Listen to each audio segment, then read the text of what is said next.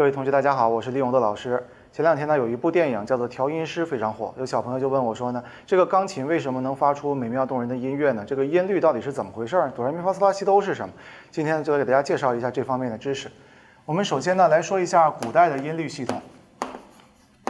古代的音律系统，其实啊，东西方都产生了自己的音律系统，而且还差不多啊。举个例子啊，我们首先说西方的。西方呢，古希腊的时候有一个科学家，名字叫毕达哥拉斯。这个毕达哥拉斯啊，他是一个著名的数学家，认为万物皆是有理数，对吧？但他同时也是一个音乐家啊，他发明了一种音律系统，名字叫五度相生法。五度相生法，五度相生法。这个五度相生法是什么意思呢？呃，我们呢？说一个故事啊，说毕达哥拉斯有一次街上走，然后呢，他就看到有几个铁匠在那儿打铁呢，那大锤子在那儿锤铁，锤着锤着，他就觉得，哎，这个铁匠敲击的这个音乐啊，特别美，是吧？特别美。然后他琢磨为什么会特别美呢？他就觉得他们的节奏不一样，就有的铁匠啊，一秒钟敲两下，有的铁匠一秒钟敲一下，所以二者频率之比是二比一，哎，这个音乐听起来就非常美，是吧？有人是一秒钟敲四下，有人一秒钟敲三下，哎，听起来也非常美。他回去琢磨说，这个音乐啊，其实就是由这个物体啊振动的这个频率决定的。我们现在的语言说就是频率，频率决定了音高，对吧？声音的音调高和音调低，频率决定的。那么这个频率如果有这么几个关系，就是频率之间是二比一的关系，或者是四比三的关系，或者是三比二的关系，那这样一来听起来就非常美啊。于是呢，毕达哥拉斯回去就用这种办法去做实验，是吧？他就做实验，他说呀，我可以造一个琴，然后来调节这个琴的音高。然后呢，就可以发明一种音律了。这个琴是这样的啊，就是有一根有一根线啊，拴在一个柱子上，然后左端用一个滑轮，这滑轮呢连接了一个重物啊，这就是一根琴。假如毕达哥拉斯拨动这个琴弦会怎么样啊？拨动这个琴弦的话，这个琴弦呢就会震动，对吧？一震动呢就会发出声音，就这个样子。然后呢，他就说啊，我可以改变这里面的某些参数，比如说我可以改变这个弦的这个弦的长度，这长度叫 L，对吧？L，或者呢，我也可以改变这个重物的重量，这个重物的重量叫 G。结果他发现呢，就这个琴呢，它的频率，或者我们现在说的音乐的音高啊，它跟什么有关呢？它就与这两个因素有关，一个是弦长，一个是弦长 L，还有一个是什么呢？这个物体的重量。这个物体的重量实际上是拉紧这根弦线的拉力，对不对？实际上它就是弦线的拉力，与这两个因素有关。啊，它可以控制这个弦长不变，改变重量，也可以控制重量不变，改变弦长。这个方法其实用到了我们现在科学的一个研究方法，叫什么呢？叫控制变量，对吧？这个初中的时候我们学物理都学过这个方法啊，就控制变量。好，这毕达哥拉斯用这种办法呢，就创造了他的音律系统。这个音律系统是怎么样子呢？咱们大概来说一下啊，我们用现代的语言呢，把这个事儿描述一下。我们知道啊，现在的这个音律系统啊，我们用音名来表示每一个音高啊。这个音名呢叫做 C D E F G A B，这是一个八度，对吧？那么你下面呢又是一个 C，就是一个高八度了啊。如果要是 C 大调的话呢，这个 C D E F G A B 啊，就唱名，我们一般唱的是唱名，对吧？叫哆来咪发嗦拉西啊。那么下一个就又是高音哆了，对吧？啊，这是唱名。那从音名上来讲呢，它就是 C D E F G A B 了啊。这个从 C 开始，而不是从 A 开始。好，那么这个毕达哥拉斯他说的这个五度相生法指的是什么意思呢？他就说，你看啊，物体振动频率是决定了音高的，这是我们现在的观点，是吧？那么假如说啊，这个 C 或者说这个哆，这个哆啊，它的频率是 F 零的话，哆频率是 F 零的话，差五度，一二三四五，这叫差五度。差五度这个音就会怎么样呢？就要让它。差五度，我们让它乘个二分之三，乘个二分之三。所以如果这个都是 F 零的话，那么这个 So 就是多少？频率就是二分之三 F 零。然后我们怎么生成其他的呢？他说还有一种方法叫差四度。你把这个这个 So 啊往回推四度，往回推四度是什么样呢？这个 So 往前推四度就是 Re，这个 Re 要怎么样呢？叫乘四分之三，乘四分之三，这就是差四度的时候乘四分之三。对吧？啊，那它这个二分之三 F 零乘个四分之三是什么？是八分之九 F 零，这就是 Re 的音。你会发现这个 Re 的音比这个哆啊稍微高一些，频率高啊。再来，我们再让这个 Re 啊，我再让它差五度，五度相生嘛，啊，于是就变到了这个拉了，对吧？还是让八分之九 F 零乘个二分之三，答案多少啊？是十六分之二十七个 F 零。然后我让这个拉呢再差四度往回找啊，又会乘个四分之三，六十四分之八十一 F 零。然后我让这个咪呢，我再让它差五度，就是这个西再乘二分之三啊，结果是一百二十八分之二百四十三 F 零。比较奇怪的是中间这个发。中间这个发，它不是从这个西往回推四度得到的，而是从这个高音都得到的。刚才我们说过啊，一个八度是什么意思？一个八度，毕达哥拉斯说就是差两倍，频率差两倍。所以呢，你这个地方是 F 零啊，那么这个高音都就是多少？就是二 F 零。然后呢，你让这个发发和高音都之间不是差五度吗？让这个发乘二分之三之后是二倍 F 零，你说这个发是多少？是不是二 F 零除以二分之三？结果是三分之四 F 零。好。咱们来看一下啊，这就是哆来咪发嗦拉西哆。那每一个音比前一个音都要频率大一些，频率大一些就会高一些，对不对？直到一个高音哆之后，它会变成二倍的频率，所以这就是一个八度啊。中间差五度是乘二分之三，差四度是乘四分之三。但是还有一点点不一样，就中间这个发，它的音是不太一样的啊。这就是毕达哥拉斯发明的这个五度相生法这个音律了啊。其实也挺好玩的，是吧？其实不只是西方啊，在东方也有类似的音律系统，比如说我们的音律系统呢，有传说是管仲。啊，这个管仲，管仲啊，就管仲发明的。管仲发明这个音律系统叫什么呢？叫做三分损益法。三分损益法，其实啊，本质上来讲呢，和这个毕达哥拉斯的这种方法是差不了太多的啊。什么叫三分损益法呢？三分损益法就是啊，举个例子，比如说一个笛子，这个笛子有这么长。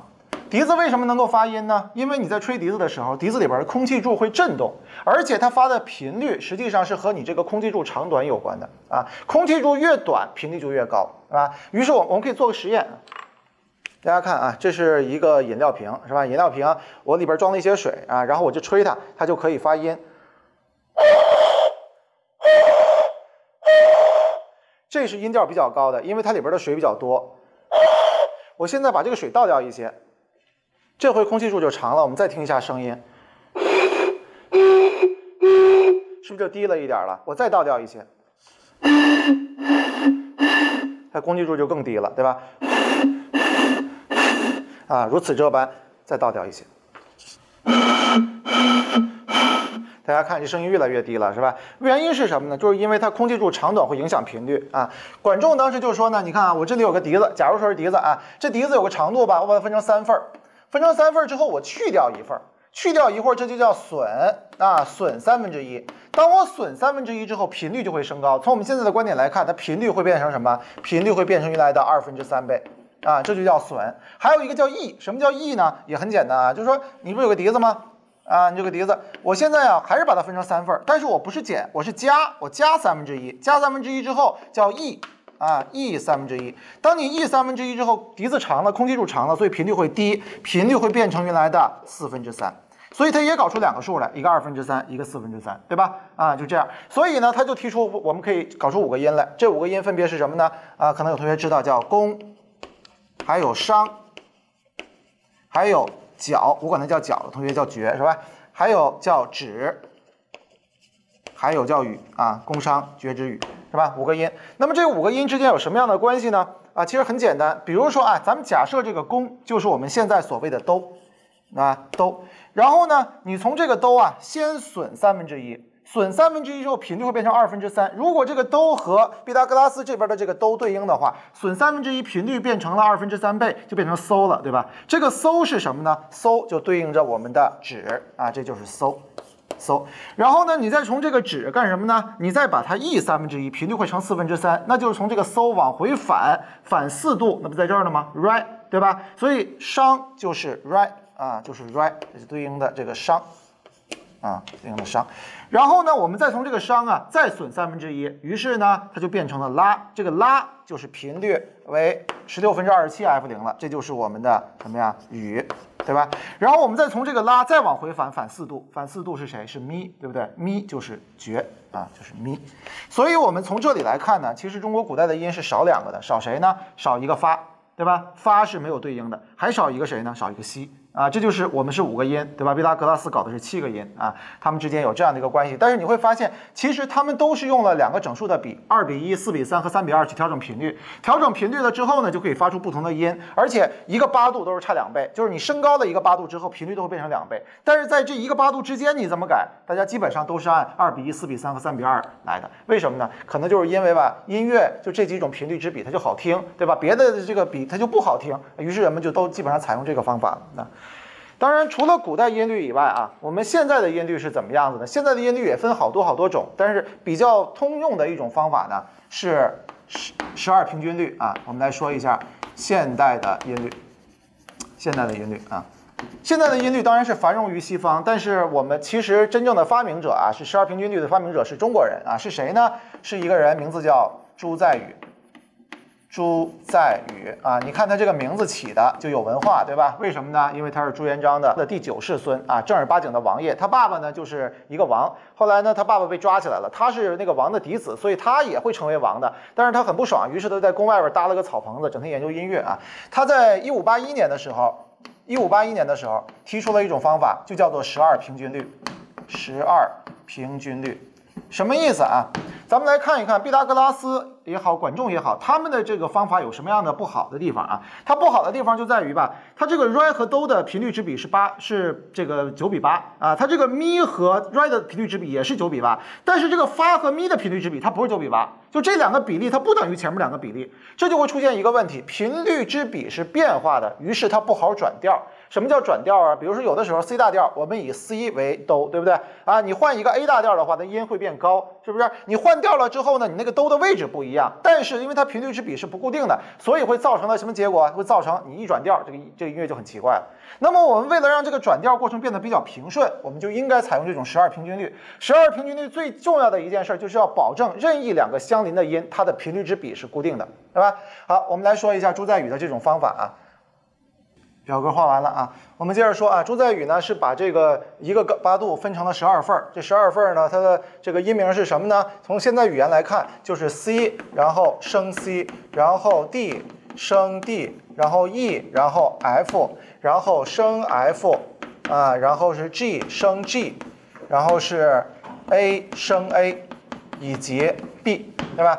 啊，我们如果要是 C 大调的话，应该是。哆来咪发嗦拉西，对吧？还有一个是升哆升来等等啊。那么频率来讲呢，是把一个八度分成了十二份，而且两个之间的比是固定的，所以是等比数列。那么你在哆这儿如果是 F 零的话，咱们想一想，十二份乘十二次之后才是二 F 零，那你这个地方应该乘多少？是不是要把它开十二次根号？所以升哆就是十二次根号二 F 零，对吧？这个数不好算啊，不好算。你这个 r 应该是什么？应该是再乘个十二次根号二，所以是十二次根号二的平方 f 零点点点点点，一直到最后一个音，应该是十二次根号二的十一次方 f 零。所以我们可以想象这件事情，我们如果想把它做出来，最难的一个地方就是如何去处理二的十二次方根，对吧？这个是很困难的，因为在古代你没有计算机，没有现在这种高科技的设备，怎么去把一个数开十二次根号呢？这个朱载宇有办法。朱载宇用什么办法呀？他用了一个巨型算盘，用了一个八十一位的算盘啊，八十一位的算盘，结果就把这个二的十二次方根给算出来了。那很厉害是吧？你说那毕达哥拉斯他为什么就不搞出这么一套系统来？因为毕达哥拉斯他是拒绝无理数存在的，他不承认无理数存在，他自然不会用这种办法，对吧？好，好，朱载宇用了这样一个办法。现在的钢琴呢，其实也是利用类似的原原理来做的啊。比如钢琴有八十八个键，那里边的一个八度什么样呢？我们画一下。好，画完了啊，这是我大概画了一下这个钢琴的这个样子啊。钢琴呢，它每一个啊，其实这个就是这个哆来。咪发嗦拉西这个白键是吧？然后这个黑键呢就表示升半音啊，比如说这个黑键表示的是升哆啊，升 C，然后升 D 是吧？这个叫升 F 啊，升 G，升 A 啊。这里边不管是白键还是黑键，只要它们是挨着的，频率都是差十二次根号二倍。比如说呢，这个升这个哆和升哆之间差十二次根号二，这个升哆和这个 re 之间也差十二次根号二。这两个白键之间没有黑键，不过它们的频率也是差了十二次根号二，就这么一个意思，对吧？呃，现在国际标准音呢是规定这里边这个 A 呀，它的频率是四百四十赫兹。四百四十赫兹啊，那么我们按照这个频率呢，就可以把其他所有的按键频率都定下来，然后你升一个八度或者降一个八度，就是乘二就可以了，是吧？这就是现在的方法。那么这种方法呢，由朱载宇发明了之后，后来啊，可能是被这个传教士利玛窦啊。利玛窦，他给传播到西方去了。后来呢，西方有一位音乐家，就是巴赫。这个巴赫呢，呃，他推广了这样的一种方法，对吧？谱了很多的曲子，都是利用了这种十二平均律的方法。那现在的乐曲呢，很多也是利用了这种办法来做。最后呢，还想跟大家说一说啊，就是这个十二平均律啊，它怎么样进行物理实现？就是我们怎么样才能把一个音乐变成？真实存在的，而不是存在于数学计算之中呢。那这个就需要通过物理的方法来实现啊？怎么实现呢？这个呢，其实就是我们用到了之前我们讲到的一件事儿啊，就是驻波啊，驻波就是有一根弦，它立在一个柱上，然后我拨动它一下，它可以形成一个怎样的振动啊？我们来说一下，它可能会这样的振动啊，这种振动我们称它为基频，就是。这个振动频率啊是最主要的，大部分能量是变成基频了啊。那么当然还有另外一种呢，就是它也可能会出现什么样的振动啊？也可能会出现这样的振动，这样的振动啊。这个呢就称之为泛音，这叫第一泛音。它里边如果波节越多的话，它的泛音就越广，可能是第二、第三、第四级泛音啊。整体来讲啊，那么它形成波的波长啊，lambda。可能是等于 n 分之二 l，其中这个 l 呢就是这根弦的弦长，这个 n 呢是一个整数，n 等于一呢就是基频。好，这是它能够形成驻波的波长。同时呢，通过物理公式我们可以知道啊，波在弦上传播有一个波速，这个波速 v 等于什么呢？波速 v 等于根号下 t 除以 ρ。我们解释一下这里边 t 和 ρ 的含义。这个 t 呀就表示是这根线上的张力。这根线上的张力啊，张力，这个 ρ 呢表示的是线密度，就是单位长度的线呢，它有多少质量啊？这叫线密度。好，这是波速。那么同时我们还有一个公式，叫波速等于波长乘以频率。于是我们就可以得到频率了。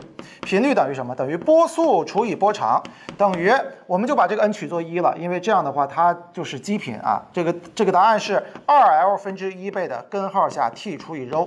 好，这就是这根弦能够发出的频率。我们来看一下啊，这根弦发出的频率跟三个因素有关。第一个是弦长。对吧弦长越短频率越高，你把钢琴那后背儿周起来，你看一下，你是不是发现那根弦它是一根一根比一根短的，对吧？因为它的这个 L 不一样，所以频率就不一样，弦越短频率越高。第二个是张力，那张力的大小会影响到频率，所以调音时调的是什么？调音时调的是张力，它把张力调紧一点或者调松一点，频率就会改变啊。还有一个就是柔柔是什么呢？柔是线密度，同样的张力，同样的长度，只要你密度不一样，频率也不一样，密度越小频率越高。所以你看那个吉他。其他有好几根弦都是一样长的，对吧？但是你拨的时候它频率不一样，为什么呢？因为它密度不同。那，密度越小的那根线密度越小，就是越细的那根，它频率就越高一些，对不对？啊，所以这三个因素呢会最终影响到乐器。所以你会发现呢，在乐器中其实也有很多数学或者物理的知识，对吧？大家如果喜欢我的视频，可以在 YouTube 账号领导老师里关注我。